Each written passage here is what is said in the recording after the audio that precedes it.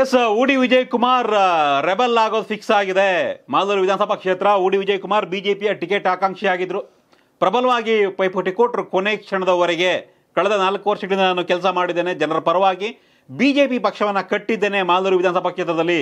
ಕೃಷ್ಣ ಶೆಟ್ಟಿ ಮಾಲೂರು ಬಿಟ್ಟ ಬಳಿಕ ಕೃಷ್ಣ ಶೆಟ್ಟಿ ಬಿಟ್ಟ ತಕ್ಷಣವೇ ಬಿಜೆಪಿಯ ನಾಯಕನಾಗಿ ರೂಪುಗೊಂಡರು ಉಡಿ ವಿಜಯ್ ಕುಮಾರ್ ಮಾಲೂರಿನಲ್ಲಿ ಬಟ್ ಅನ್ಫಾರ್ಚುನೇಟ್ಲಿ ಲಾಸ್ಟ್ ಒಂದು ಎಂಟೊಂಬತ್ತು ತಿಂಗಳ ಹಿಂದೆ ಮಂಜುನಾಥ್ ಗೌಡ ಜಾಯ್ನ್ ಆದ್ರು ಜೆ ಡಿ ಎಸ್ ಬಿಟ್ಟು ಬಿಜೆಪಿ ಜಾಯ್ನ್ ಆದ್ರು, ಮಾಜಿ ಎಂ ಎಲ್ ಎ.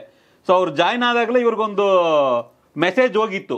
ಮಾಜಿ ಎಂ ಎಲ್ ಎ ಕರ್ಕೊಂತಾ ಇದ್ದಾರೆ ಮಂಜುನಾಥ್ ಗೌಡರು. ಆ ಸಮುದಾಯದಲ್ಲಿ ಕಾನ್ಸ್ಟಿಟ್ಯೂನ್ಸಿ ಸಮುದಾಯ ಬೇರೆ ಪ್ರಬಲವಾಗಿದೆ. ಅವ್ರಿಗೆ ಟಿಕೆಟ್ ಕೊಡಬಹುದೇನೋ ಅನ್ನೊಂದು ಸಂದೇಶ ಬಂದಿತ್ತು. ಬಟ್ ಉಡು ವಿಜಯ್ ಕುಮಾರ್ ಯಾವುದಕ್ಕೂ ತಲೆ ಕೆಡ್ಸ್ಕೊಳ್ಳಿಲ್ಲ. ಕ್ಷೇತ್ರದಲ್ಲಿ ಮಿಂಚಿನ ಸಂಚಾರ ಮಾಡಿದ್ರು, ಪ್ರಚಾರ ಮಾಡಿದ್ರು, ಏನು ಬೇಕು ಎಲ್ಲವನ್ನೂ ಕೂಡ ಮಾಡಿದ್ರು ಬಟ್ ಟಿಕೆಟ್ ಸಿಕ್ಕಿಲ್ಲ. ಅವ್ರಿಗೆ ನಿನ್ನೆ ಟಿಕೆಟ್ ಅನೌನ್ಸ್ ಆಗೋಕೆ ಮುಂಚೆನೇ ಮಾಹಿತಿ ಬಂದಂತೆ ಕಾಣಿಸ್ತಾ ಇತ್ತು. ಬೆಳಗ್ಗೆಯಿಂದಲೇ ಸುಮಾರು ನಾಲ್ಕೈದು ಸಾವಿರ ಜನ ಕಾರ್ಯಕರ್ತರ ಮನೆ ಹತ್ರ ಹೋಗಿ ಗಲಾಟೆ ಎಲ್ಲ ಮಾಡಿದರು. ವೆಯ್ಟ್ ಮಾಡೋಣ ವೆಯ್ಟ್ ಮಾಡೋಣ ಅಂತಿದ್ರು. ಸೊ ಕೊನೆಗೆ ಅವರು ಚುನಾವಣೆಗೆ ಹೋಗೋದು ಫಿಕ್ಸ್ ಅಂತ ಹೇಳಿದ್ದಾರೆ. ಅನೌನ್ಸ್ ಆಗಿದೆ. ಪಟ್ಟಿಯಲ್ಲಿ ಲಿಸ್ಟ್ ಲಿಸ್ಟ್ ಆಮ್ ಆದ್ಮಿನಾರ ಸೇರ್ತಾರ? K R S party Aam Aadmi? ಗೊತ್ತಿಲ್ಲ ಈಗ ಸ್ವಾಭಿಮಾನಿ ಉಡಿ ವಿಜಯ್ ಕುಮಾರ್ ಅನ್ನೋ ಒಂದು ಸ್ಲೋಗನ್ ಅಲ್ಲಿ ಹೋಗ್ತಾ ಇದಾರೆ. ಅಲ್ಲ ಸ್ಲೋಗನ್ ಏನಾರ ಕೂಗ್ಲಿ. ಅದು ಎ ಪಿ ರಾಷ್ಟ್ರೀಯ ಪಕ್ಷ ಪಕ್ಷ ಆಗಿದೆ ಈಗ. ಅಧಿಕಾರ ಹೋದ್ರೆ ಸಿಂಬಲ್ ಮೇಲ್ಗಡೆ ಕಾಂಗ್ರೆಸ್ ಬಿಜೆಪಿ ಎಪಿ ಮೂರನೇ ಬಂದ್ಬಿಡುತ್ತೆ ಕರ್ನಾಟಕದಲ್ಲಿ. ಬರ್ತದೆ. ಇವ್ರೇನೋ ಬುದ್ಧವಂತ ಆದ್ರೆ ಉಡಿ ವಿಜಯ್ ಕುಮಾರ್ ಈಗ ಹೋಗ್ಬಿಟ್ಟು ಟಾಪ್ ಅಲ್ಲಿ ಹೆಂಗೋಗಿ ಕೇಳ್ಕೊಂಡು ಟಿಕೆಟ್ ತಗೊಂಡ್ ಬಂದ್ರೆ ಮೇಲ್ ಬರ್ತದೆ.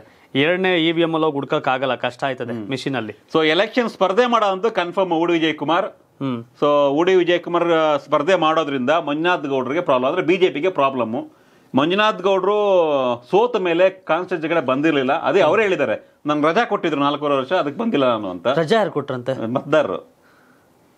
ಅದಂಗೆ? ಮತದಾರರು ನನಗೆ ರಜಾ ಕೊಟ್ಟಿದ್ರು ಮನೆಗಿರಪ್ಪ ನೀನು ಸೋಲ್ಸ್ತೀವಿ ನೀನಂತ ಮನೆಗಿದ್ದೆ. ಈಗ ಈಗ ಬಂದಿದ್ದೀನಿ ಅಂತ ಹೇಳ್ತಿದ್ರು ಅವರು. ಎಕ್ಸಾಮ್ ಫೇಲ್ ಆದ್ರೆ ಮತ್ತೆ ಎಕ್ಸಾಮ್ ಸೆಂಟರ್ಗೆ ಇನ್ನೊಂದ್ ಇಯರ್ಗೆ ಹೋಗೋದಲ್ಲ. ಹ್ಮ್. ಇನ್ನು ಜಾಸ್ತಿ ಓದು ಅಂತ ಅರ್ಥ. ಬಟ್ ಅವ್ರು ಹಂಗೆ ತಿಳ್ಕೊಂಡಿಲ್ಲ ಮತ್ತೆ? ನನಗೆ ರಜಾ ಕೊಟ್ಟಿದ್ದಾರೆ ಜನ ಮಾಲೂರು ಜನ ಮನೇಲಿದ್ದೆ ಈಗ ಬಂದಿದ್ದೀನಿ ಅಂತ ಹೇಳ್ತಾ ಇರ್ತಾರ ಅವರು. ಮತ್ ಮತ್ ಕೊಟ್ರೆ ಏನ್ ಮಾಡಾರಂತೆ? ಮತ್ ಕೊಟ್ರೆ ಮತ್ತೆ ವಾಪಸ್ ಒಂದು ಸರಿ ನೀವು ಎಕ್ಸಾಮ್ ಫೇಲ್ ಆದ್ರೆ ಜಾಸ್ತಿ ಓದಬೇಕು. ಹೌದು. ಅಂದ್ರೆ ಈ ಎಕ್ಸಾಮ್ ಫೇಲ್ ಆಗಿದ್ರೆ ಇನ್ನು ಜಾಸ್ತಿ ಓದ್ಕೊಂಡು ನೆಕ್ಸ್ಟ್ ಎಕ್ಸಾಮ್ ಬರೀಬೇಕು. ಟೈಮ್ ಆಲ್ಗೆ ಹೋದ್ರೆ ಆಲ್ ಟಿಕೆಟ್ ತಗೊಂಡು? ಸೊ ದೊಡ್ಡ ಮಟ್ಟದಲ್ಲಿ ಹೊಡೆತ ಕೊಡ್ತಾರೆ ಬಿಜೆಪಿಗೆ. ಯಾವುದೇ ಕಾರಣ ಯಾವುದೇ ಡೌಟ್ ಇಲ್ಲ. ಉಡಿ ಜಯಕುಮಾರ್ಗೆ ತನ್ನದೇ ಆದ ಒಂದು ಕಾರ್ಯಕರ್ತರ ಪಡೆ ಇದೆ ಅವ್ರಿಗೆ ಒಂದು ಬಳಗ ಇದೆ. ಸೊ ಒಂದು ಎಫೆಕ್ಟ್ ಅಂತೂ ಆಗುತ್ತೆ ಮಾಲೂರು ಕ್ಷೇತ್ರದಲ್ಲಿ. ರೆಬಲ್ ಆದ್ರೆ ನಾಲ್ಕು ಜನ ಬಿ ಎಡ್ ರಾಮೇಗೌಡರು ನಂಜೇಗೌಡರು ಕಾಂಗ್ರೆಸ್ ಬಿಜೆಪಿಯಿಂದ ಮಂಜುನಾಥ್ ಗೌಡ ಉಡಿ ವಿಜಯ್ ಕುಮಾರ್ ಪಕ್ಷೇತರ ಅಭ್ಯರ್ಥಿ ಸ್ಪರ್ಧೆ. ನೀವು ಏನಾರ ಹೇಳ್ಕೊಳ್ಳಿ. ವರ್ಷ ಕೇಸಲ್ಲಿ ಮಾಲೂರಲ್ಲಿ ಮೂವತ್ನಲ್ ಮೂವತ್ ಸಾವಿರ ಬಿಜೆಪಿ ಓಟಿದೆ. ಹ್ಮ್. ಇಪ್ಪತ್ತೈದು ಮೂವತ್ ಸಾವಿರ ಬಿಜೆಪಿ ಒಟ್ಟಿದೆ ಉಡಿ ವಿಜಯ್ ಕುಮಾರ್ ಹುಟ್ಟಾಕದಲ್ಲ ಉ- ಉಡಿ ವಿಜಯ್ ಕುಮಾರ್ ಬರಕ್ ಮುಂದೆ ಏನೋ ಬಿಜೆಪಿ ಅಲ್ಲ ಐತೆ. ಕೃಷ್ಣ. ಅಲ್ವಾ? ಅಂದ್ರೆ ಬಿಜೆಪಿ ಮೈಂಡ್ ಸೆಟ್ ಮತದಾರರ ಸಂಖ್ಯೆ ಮೋರ್ ದೆನ್ ತರ್ಟಿ ತೌಸಂಡ್ ಅಲ್ಲ ಏನಾಗಿದೆ ಅಲ್ಲಿ ಅಂದ್ರೆ ನಿಮ್ಗೆ ಅರ್ಥ ಆಗ್ಲಿ? ಈಗ ಅಲ್ಲಲ್ಲ ಬಿಜೆಪಿಯ ಮೈಂಡ್ ಸೆಟ್ ಮತದಾರರ ಸಂಖ್ಯೆ ಮೋರ್ ದೆನ್ ತರ್ಟಿ ತೌಸಂಡ್ ಸಿ ನಾವು ಇಷ್ಟು ದಿನ ಅಲ್ಲಿ ಬಿಜೆಪಿ ಮಂತರ ನೋಡಿದೀವಿ ಬಿಜೆಪಿ ಅಭ್ಯರ್ಥಿನ ಓಟ್ ಹಾಕಿದ್ ನೋಡಿದ್ವಿ.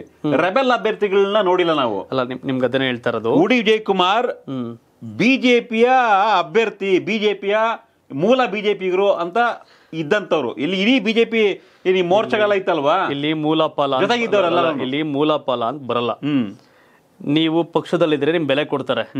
ನೀವು ಪಕ್ಷದಲ್ಲಿಲ್ಲ ಅಂದ್ರೆ ನೀವ್ ಯಾರೋ ಅವ್ರು ಯಾರೋ. ಎಲ್ಲಾ ಕಡೆ ಬಿಜೆಪಿ ಇದೇನು ಅಂದ್ರೆ ಪಕ್ಷ ಮೊದ್ಲು.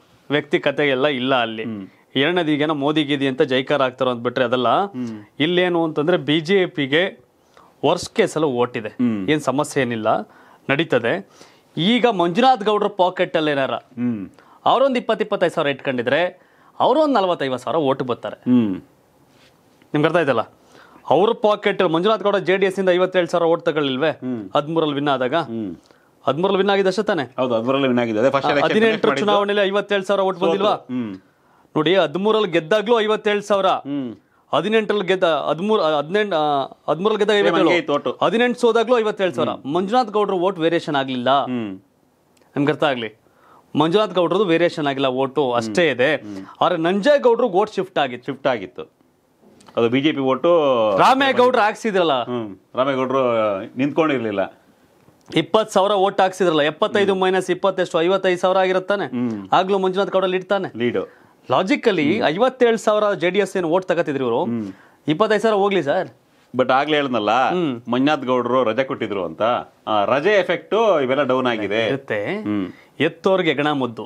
ಎತ್ತೋರ್ಗೆ ಹೆಗಣ ಮುದ್ದು ಅಂದ್ರೆ ಆಯಾ ಪಕ್ಷದ ಸಿದ್ಧಾಂತ ಕಾರ್ಯಕರ್ತರಿಗೆ ಅವೆಲ್ಲ ನಡೀತಾ ಇರ್ತದೆ. ಬೆಂಬಲಿಗರಿಗೆ ಆಗಲ್ಲ. ಬೆಂಬಲಿಗರು ಬೇರೆ ಕಾರ್ಯಕರ್ತರು ಬೇರೆ. ಯಾರು ನೆನೆ ಉಡಿ ವಿಜಯ್ ಕುಮಾರ್ ಮನೆ ಇದ್ರಲ್ಲ ಅವ್ರು ಬಿಜೆಪಿ ಕಾರ್ಯಕರ್ತರಲ್ಲ. ಉಡಿ ಬೆಂಬಲಿಗರು.